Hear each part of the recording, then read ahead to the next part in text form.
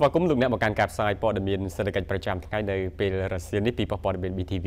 ផ្ដើមនៅព័ត៌មានសេដ្ឋកិច្ចជាតិជាដំបូងរដ្ឋមន្ត្រីក្រសួងពាណិជ្ជកម្មបានស្នើឲ្យភីគីជប៉ុនវិនិយោគបន្ថែមទៀតមកទៅលើវិស័យឧស្សាហកម្មនៅកម្ពុជា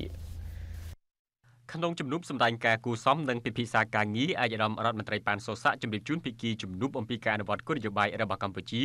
ក្នុងការពង្រីកទីផ្សារក៏ដូចជាការតាក់ទាញវិនិយោគ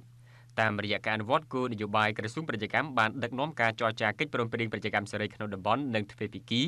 ដែលក្នុងនោះកិច្ចព្រមព្រៀងភាពជាដៃគូគ្រប់ជ្រុងជ្រោយតំបន់អស៊ិបដែលកម្ពុជានិងជប៉ុនជាភាគីទើបតែនឹងបញ្ចប់ឈានទៅរកការចុះហត្ថលេខាក្នុងឆ្នាំនេះ។ កិច្ចព្រមព្រៀងភាពជាដៃគូគ្រប់ជ្រុងជ្រោយតំបន់នេះនឹងបង្កើតឡើងនូវទីផ្សារទូលំទូលាយសម្រាប់កម្ពុជាហើយកម្ពុជាក៏កំពុងតែឈានទៅរកការធ្វើឧស្សាហនីយកម្មសេដ្ឋកិច្ចរបស់ខ្លួនដើម្បីបង្កើតការងារក៏ដូចជាបង្កើតតម្លៃបន្ថែមសម្រាប់ផលិតផលនៅក្នុងស្រុកដូចនេះហើយអាយដាមបានលើកទឹកចិត្តឲ្យក្រុមហ៊ុនជប៉ុនវិនិយោគបន្ថែមនៅកម្ពុជាជាពិសេសក្នុងវិស័យឧស្សាហកម្មនិងការកែច្នៃផលិតផលកសិកម្មដើម្បីទាញយកផលប្រយោជន៍ពីកិច្ចព្រមព្រៀងនេះ។